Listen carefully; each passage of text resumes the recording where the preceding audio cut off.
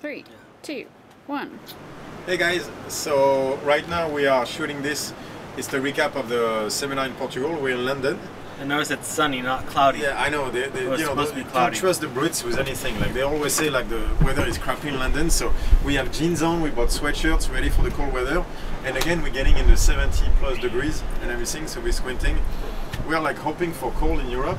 Yeah. I don't know if the Wanted heat wave is rain. following us or we're following up. Right. Uh, you know, following the heat wave. But Jesus Doesn't want to let up. The sun does not want to let up. can't trust the Brits with anything, Jesus Christ. Even London doesn't have crappy weather. Yeah, Charlotte is not happy, but just saying. So, recap about Portugal. Portugal.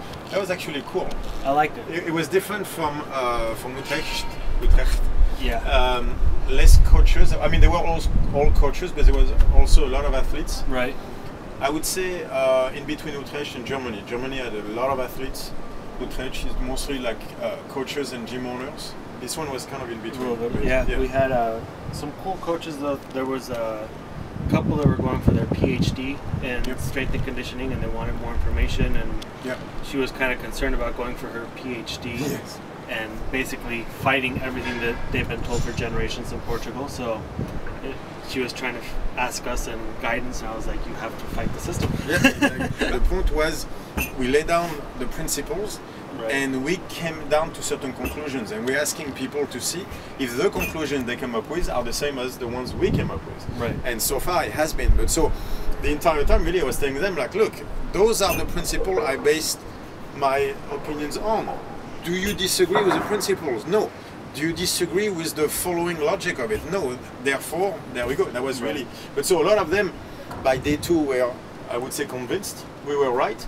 And so after that, the questions were more like, okay, so now what? Well, I think the first day we had an argument. I think we went over the schedule because you kept arguing for two hours. Well, okay, I, I wasn't arguing for two hours. They were asking me questions for two hours. So I kept inserting the questions. well, yeah, but I kept reverting back to the same thing. It, it was because almost the like guy- yeah. disbelief. It was a. It yes, was it was. interesting. Oh, it totally was. Like it was a.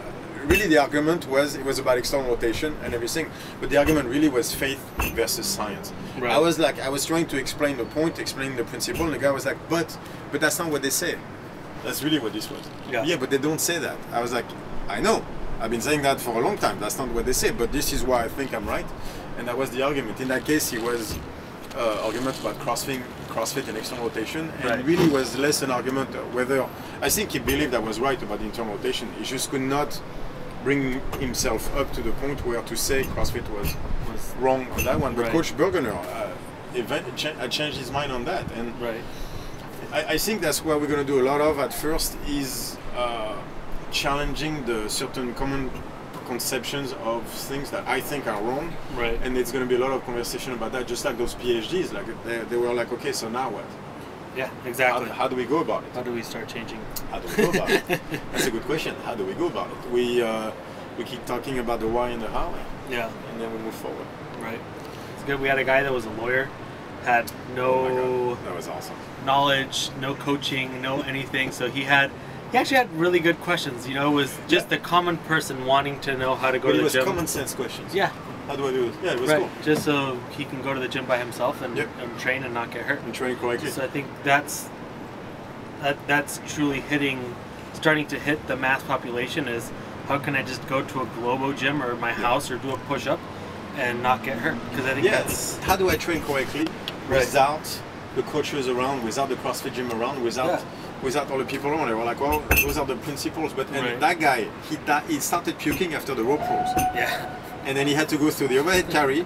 And then, uh, And then the, the sandbag carry, and then the, all the sleds and everything. He, pu- he puked and on the so drag he's times. like, hey, so can I drag you? And I was like, you want me? I was like, you could have asked any girl that weighs like probably a good 60 kilos less, and you're asking me. And he goes, well, I figure you're gonna be yelling at me. I might as well be watching you as you yell at me. So he dragged me, and then I, I, I yelled at him. Quite That guy died so He did bad. good, he did oh my god, yeah. He came the next day. He was wrecked, but he was awesome. Like he, Yeah. he never quit, by the way. He never, no. Well, he awesome. wanted to. He want- but and he I was like, didn't. you have another, and he just kind of looked at me and he shook his head. And I said, no, you have to do it. You can't quit. And he got did it. and- yeah, yeah, but he did it though. I thought it was awesome. Like Yeah. we pushed him hard because he was dying from the get go. It was awesome. Yeah. Cool guy. Yeah, he, a lawyer. He lives in. I mean, he's going to move to Sintra, but uh, lives in France, and he came to the seminar just for that. Right. Just to learn the system, because same story as usual. He's been training on his own and being uh, getting hurt shoulder or back problem, Right. and he wants to fix it. So he just came to the seminar to learn Yeah. on how to fix it. So we're starting to have more and more people outside of CrossFit. Right. PTs, people that just want to come and just learn how to move correctly. We had that one guy that was uh, he was an engineer or something. He kept trying to go into Yeah, positions yeah, and was. levers. And I'm like, well, yeah, but it depends. He like, he he tried to correct me on the on the landmine row because my elbow was going a little bit further out, and I was like, I have lats. Like, there's only so much I can do. Yeah. But the structure That's- is built differently, point. so you have to look to at go- the athlete, and Yeah. from there you do the bit. The, you define how it should be moved correctly. But it's again, we go back to the same thing. Like they just want methods. They, Right. they want to sell. Yeah. Everybody fits the same mold kind of method, and then ha- like I wonder if it's a need for controlling people. But they, they need a method because they need to know where they're going. They need they need to be simple. It's not Right. simple. Yeah. There are principles in place, and you have to understand the principle. And then after that, you make up your own method based on that. But Yeah, uh, adapt think- it to what you need, not what they tell you. coaches just want the quick turnaround of here's a six week program to have abs, Yeah. and that's what I'm gonna, and that's kind of what they're trying to get out of it. I think we've had that every single time as well. How do Yeah. we sell it? And I'm like, you have to tell people it's gonna take a long time. They're like, well, yeah, but then they're not gonna pay. Then they don't want to Yeah. be fixed, or they can go see a doctor. You know, what I mean? But those are the coaches that aren't interested in fixing people. They're Right. the coaches that just want to earn a quick buck. Yeah, Right. because once in a while we had that question, say, well, how do I adapt it to my class? And I was like, well, not right now.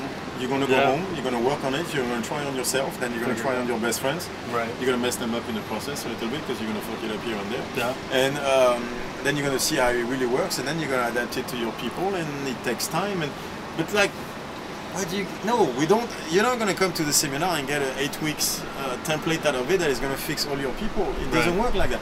We're not. Again, we go back to the what all the time. We're not trying to explain to you what to do at all. We're just trying to lay down the principles, and we expect you from that to draw the conclusions that leads to better movement. Yeah. That's it. That's as far as this goes. This is about learning to move better. That's literally the, the point. And uh, there was actually um, a lot of those pure strength and conditioning guys. Uh, Portugal was interesting for that because we had, um, like in the States, for example, the CrossFit coaches we have Right. are only only CrossFit. CrossFit. That's what they've done. and That's the only thing they've done. Maybe some sports before that or bodybuilding, but they just CrossFit. The guys we had in Portugal were strength and conditioning trained. Right. And so, as in Yeah, like a lot of six years of yeah of the, you know the schooling, but like the you know very dogmatic, very Yeah. uh, uh, science based Right. uh, training and everything. And so every time I come up with a point of something, they say yes, but I liked it because it allowed me to go into let me explain to you why I think they're wrong, and then I could go into the point. And so they never disagree on what I said. Their disagreement was always, but that's not what I've been told. Right. And I was And like, yeah, six years you're school. right. Yeah, yeah. You spend years of your life Right. working on that, sleepless night, so much money spent, and here comes the guy who says, "Nope, Yeah. you're wrong. Here is how it works." Right. And it is what it is. But so, but that's really the point of the seminar. Was that it says, "Look, those are the principles. You can't really say, just apply them. That's Yeah. all." But uh, I think at first what I was not afraid of, but I thought might necessarily be, be harder is to get your common people that want that six weeks program to understand the principles and base their decisions on that. And we're Right. succeeding doing this. That makes me tremendously happy Right. because it shows you that I think coaches underestimate people. At least the fitness industry underestimates people's intelligence. I Yeah. really do. I think they try to sell them, they, they spoon feed them uh, usually bullshit answers because they, they assume they're willingly or not that they're not smart enough to get it. Maybe it's a doctor's complex. Like, no, we're just so much smarter than you, you can't understand.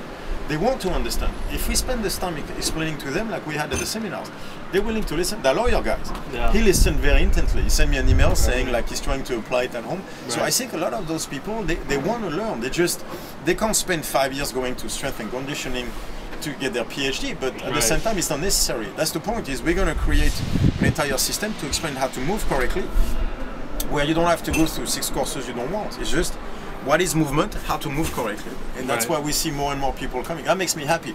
People are not stupid. If you just explain to them correctly, No.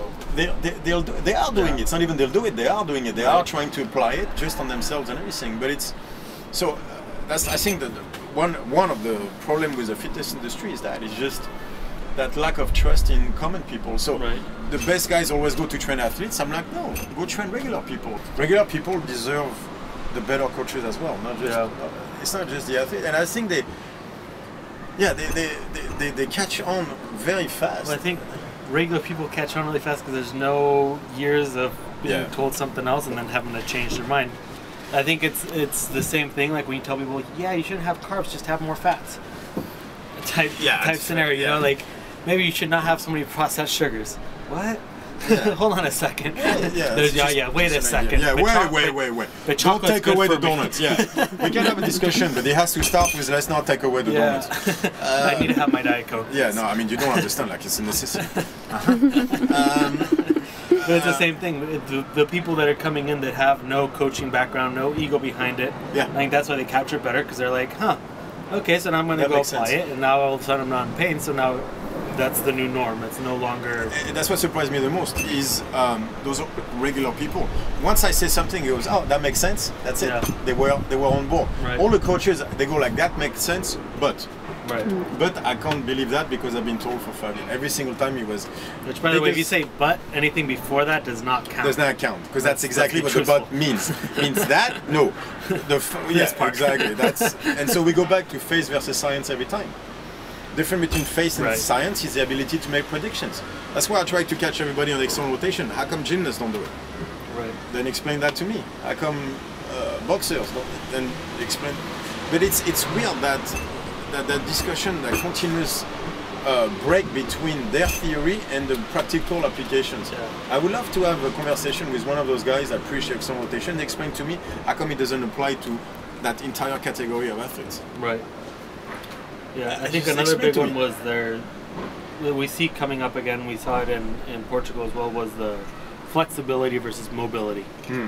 and so Yeah, that's that a big one, the hinging, the deadlift, the, Yeah, what I'm is flexible mobility? So mobility is range of motion while maintaining torque. right What is torque? golden nugget for this for the Yeah, for the video. for the mobility. Yeah. Okay, so Take a note. Exactly. Mobility is range of motion while maintaining torque, while maintaining rotation. What is torque? Torque is a component of strength. The greater the torque, the stronger you are. So there is a relationship between strength and mobility. And we are trying to explain to them that the only interesting part um, is mobility, not flexibility, Right. because you need to move with intention. Whether you're lifting weight on your own body weight, it's with intention that it applies. Right. Without tension, flexibility is useless. So we are trying to explain that the whole like stretching with a band without tension is useless. Right. And that's a long conversation as well. You have to be able to apply movement. Faith versus science. If you cannot apply it, it's useless. That was the only point with external rotation. I'm like, it's not being applied Right. by top people. Ah, God, it's, it's going to be a long conversation like that. We'll win, but it's going to take a little bit of time. That's for sure. But uh, I was very happy uh, with Portugal overall because I thought I like the questions in the sense because we're going to see those questions a lot. Right. And um, I felt by the end of it, we answered them and we got we got them on our s- our side. Yeah. Yeah, if you can call it that. Yeah, I so think so. was cool. I like that. It was good. Paulo was super nice. Yeah, Paulo was super nice. Got Sintra was a gorgeous city. Yeah, had some delicious seafood. Yes, we did. It was good. And and Sintra was one of the most beautiful cities I've ever seen. Yeah. It was it was really great. was so uh, awesome. it, it was another great seminar. All of them have been very different in in field, really. Yeah, Yeah, we I tried. think it's just the change in cultures. I think too. it's part yeah. of it. Like you start changing the people that are coming to the seminar. I think the reaction at the end is the same, but the culture is different. So how they Yeah. approach everything is a little. Yeah, little it, it was funny because you could tell there is such um, an energy toward CrossFit in Portugal, such uh, an excitement, everything that's Right. really cool. Yeah. Because nobody's jaded and everything. But since I said certain things that don't necessarily agree with their L1 cert, they uh, at first it was a little bit of a shock. Right. Speaking of that, I, uh, by the end of the European seminar, we will have every, I think like 90% of the HQ staff that, been, that went, through the seminar. So that was really cool. And they actually agree with all the stuff. There, there is really Yeah. a gap between the sport of, of CrossFit Right. and the training system of CrossFit. Yeah. And the L1 is teaching the training system and not the sport. Right. And uh, I think actually we, uh, it's a Yeah, lot in line still, with. We're still yeah. following the the beginnings of what Glassman said about keeping constant vary and everything. The only thing we're adding to it is Yeah. we're just putting in some a couple of different gaps that are that need to be We're just filling and- certain holes that Yeah. were. I mean, look, CrossFit changed everything. So Right. there were so many things to change. Yeah. Now there's certain holes that, that, that are appearing, and I think one of the holes is uh, what is movement. Right. Nobody's defining it, and so we, I think we're just get, uh, filling that hole toward what is movement. Glassman defined what is fitness. We're defining what is movement. Right. Really, but we're not we're not that. I would love to have a conversation with Greg Glassman because I think we would agree on a lot of stuff. Right. I think we disagree on how to apply certain things, but I don't mind because that's a method. I, I don't mind discussions about how to apply stuff. I don't, I don't really care. It's just the principles we talked about either are right or wrong. And from what we've been talking to the, the staff, a lot of the things strike along the same core. So It was a good one. We have Belfast, no, Bath up next. Bath, Bath first, and then we go Thames, Thames. then we go Belfast, then we go Graz. We go Thames. Oh, Thames. Ta- no, not Thames. Thames. No, Thames. Thames. Thames. Thames. Why is you this so it? difficult for you? I think I think we can Thames? solve this whole Because I thing. say Thames for years, that's why it's Yeah. difficult. So Because it's, it's Thames. thank, it's thank you. It's not thank you. so, so is it it's- Thames? If you're Like Irish. Thames? If Um, you're Irish. If I say CrossFit thanks. Thames, So if you're Irish, how would you say it? Thanks very much. Thanks very very much. Oh, I don't, like if any I'm Irish Irish, people so write in about my people right poor there. accent, So we can say sorry. that the Irish name Irish, Thames. I, I need to work Is on my there- accent. Thames. Thames. Thames. And so after Thames, uh, then we'll go Belfast. Belfast and then we'll go Graz. And then we'll Yeah. do an announcement about all the new seminars popping up yeah. because we're gonna be. Which, by the way, if you go to the StrongFit link, they have all the seminars that are coming up. So I, I know you got the a few, Facebook, a few Facebook people- page events, and we have all Yeah. of them. All the links are up and everything. But we uh, on the next uh, on the next vlog we'll explain everywhere we're gonna go, from back to the states to back to Europe to Australia. They're selling out fast, people. So Yeah, there's a lot of them coming up, and so we'll do a list. On next vlog, I'll do a list with all the dates per uh, CrossFit box and everything. That's Cool. gonna take five minutes. Yeah. But we have a lot of uh, coming up. The tour is going year. really well. It's gonna be a huge year, and then more changes after that. Yeah. We uh, things are happening so fast. I guess we'll uh, we'll tell you as we go. Because honestly, from one month to the next, We can all change. yeah, it's all change and new stuff and everything. Like I'm getting better at the whole seminar things too. So I've changed a few things since the beginning. Right. and so it's cool. It's, it's going really well, and overall we're very happy. And man, we get to travel everywhere. Like right now, we're in very uh, hot London, believe it or not. Yeah. Which the is not cool that you're sweating in London. We're supposed to have raincoats. Liars. I bought a sweet coat. That's why they're not Europeans anymore, right Yeah. there. Uh, but I have to say, London is very pretty. Yeah, Yeah. beautiful women too, by the way. There's like girls with afros that big. I like it. Okay, I always thought hipster started in France. I stand corrected. I was wrong. It is totally a London thing. Yes. Like they're all hipsters. It's crazy. we're in East London, darling. What do you expect? Oh, is that where the hipsters started? Oh yeah. Oh yeah. Like they're all dressed. I'm like, you guys are sharp, but like hipster sharp. Even like the coffee shops, the barber shops.